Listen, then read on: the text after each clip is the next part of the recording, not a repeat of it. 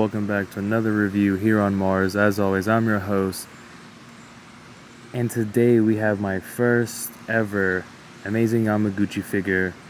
Give it up for My Hero Academia's Shoto Todoroki, the man or the prodigy child with two quirks, the one and only. Let me just start off by telling you this figure is amazing all right from the accessories from the options with the face plates the hands and the figure itself really impressed with this figure here now as you saw from the intro I was in a different location but due to the complications from nature i.e. mosquitoes spiders um, heat, hot air, you know, all the things with nature. I was unable to complete that review. I did finish it, but it was so like half-assed that I decided to go back at it today at the usual spot. It's about 8 o'clock in the evening. The sun is going down. The bugs aren't out, and it's feeling great out here. And this um, quality is just really, really good. Give me a thumbs up if you agree. Now, I will warn you all that if for some reason you do find yourself out on a hike, on a trail, at a picnic table, anywhere out in the world in nature, and you decided to use off spray to keep the mosquitoes and bugs away, do not touch your figures. I touched this figure and I knocked off some of the paint and took it to other places on the figure. So I'm going to give you an example of what I mean right now. So on the very back here, let's see if you can see it. There's blue on there. Right there. That's my fingerprint. From when I touch his pants or any part of the body and touch his boot. Now this happened because of the spray, whatever chemicals on the spray knocked the paint off. So let's just check out Shoto real quick and just see how really nice this figure is.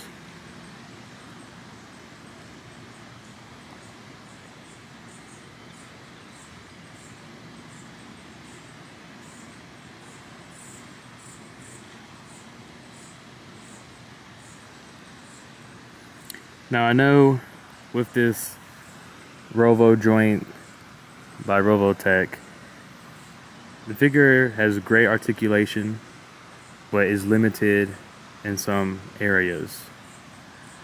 Um, but because of my experience with the Buzzmod figures, I actually feel really comfortable with this figure and familiar with this figure, which I think is great.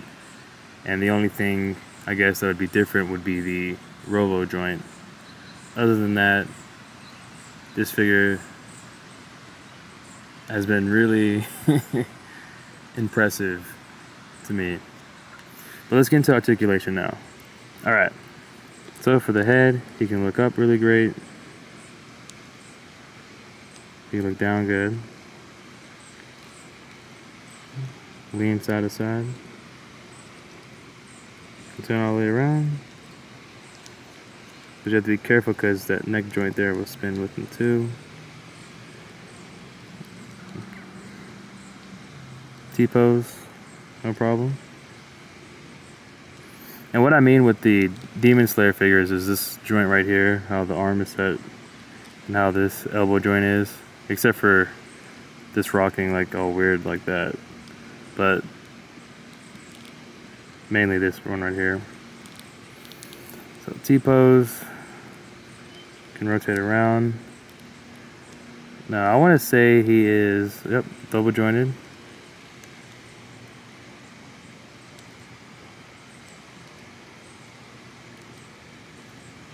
There's a butterfly joint as well.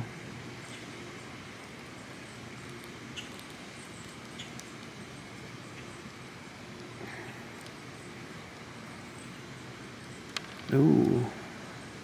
See now this, on the other hand, I'm not sure if this is a an amazing Yamaguchi QC, QC issue or not, but see his hand just popped off, and I need to snap it back in there.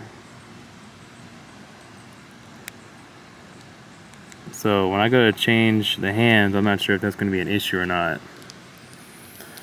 Now I've encountered this with another figure mm, from Lim Toys, the Leon Lim Toys figure is when I had that same issue.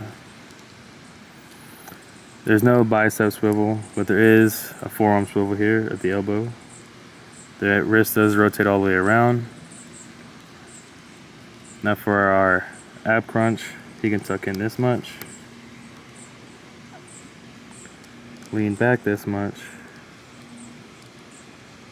And then at his waist too, he can tuck in this much here, lean back, rotates all the way around, and then rotates all the way around. So great articulation.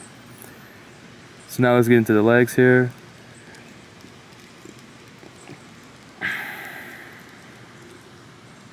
He can do the split, but it's kind of weird. See, this one, this leg is faced frontwards out, while this one is kind of, see how the legs are? That's just those rovoid joints. I I assume. So yeah. No issue there. You get your leg swivel here on both sides. Is double joint in the knees.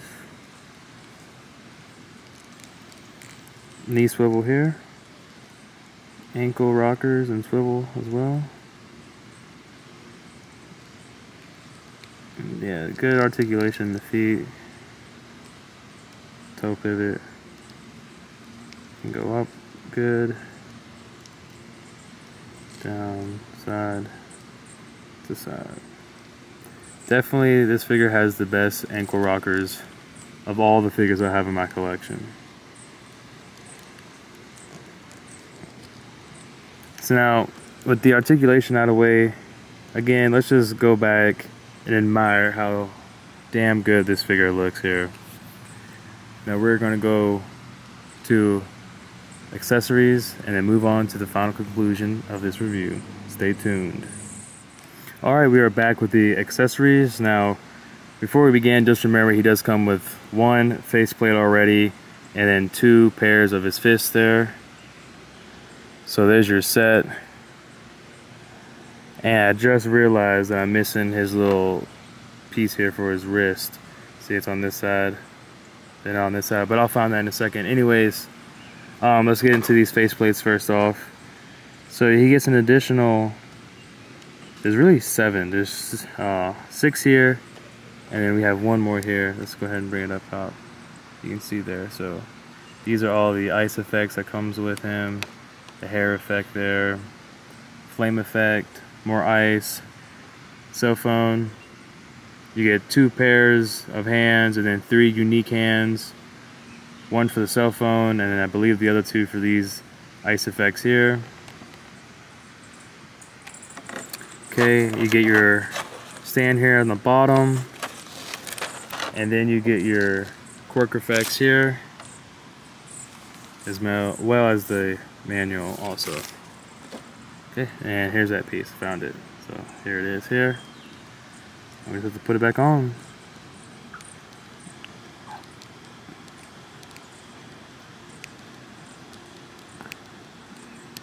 Oh yeah. There we go.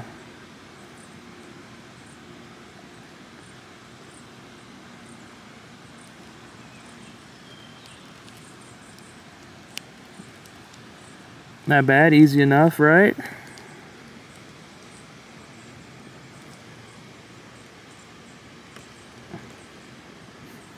Alright, now let's go ahead and put some of these accessories on him. Like, I don't know, this maybe? I think they go on here, so. There's a joint here. And then you would just take it in. And then there's a See that? Connect it. Hmm. Maybe it's not going to work like that.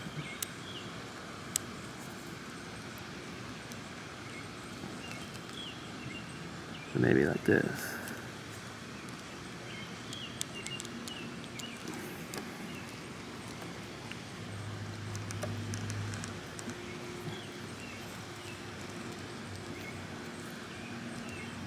Okay, so maybe it's not going to go in there. Huh.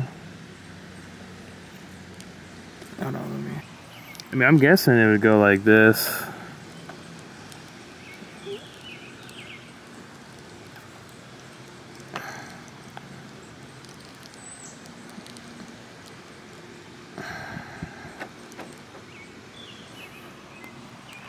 that's how it would look.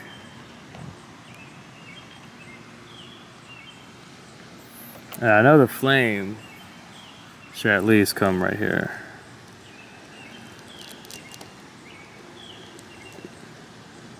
Now these, um, this figure has not been heated up as much or at all really, except for when I was doing the previous review on them. Oh, here we go.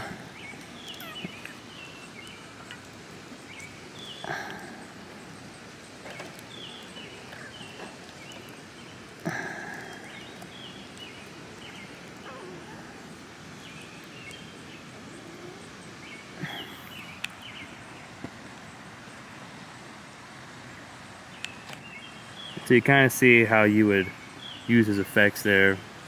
And then obviously with his, you can switch out his hands, but I'm not going to do that just because you've seen the struggle. Uh, I guess I can try it with this hand and see how it works.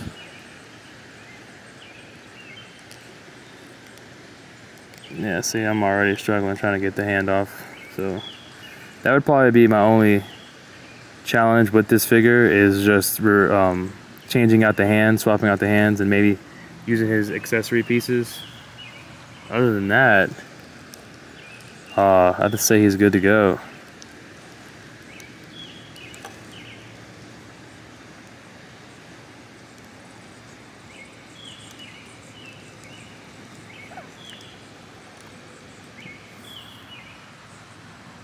See there. So yeah, let's go ahead next and we'll uh, swap out that hairpiece real quick.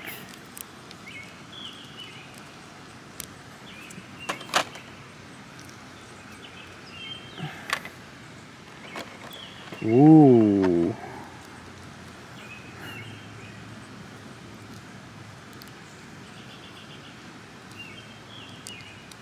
I don't know if I need to have a special con or another faceplate on. Okay, I guess not. Oh, so looky here, this came out from the other one.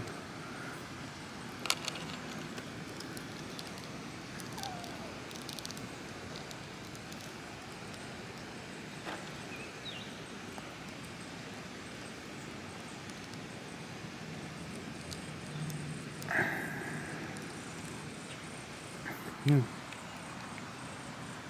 Not bad.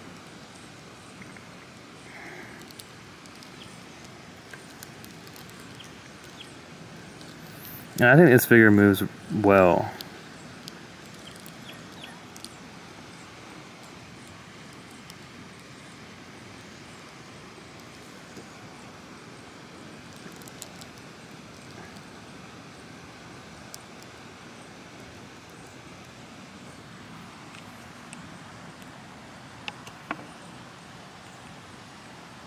Oh yeah.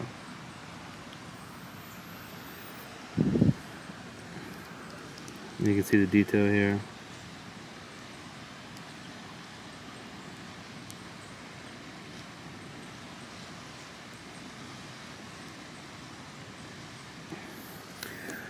So, is this figure worthy?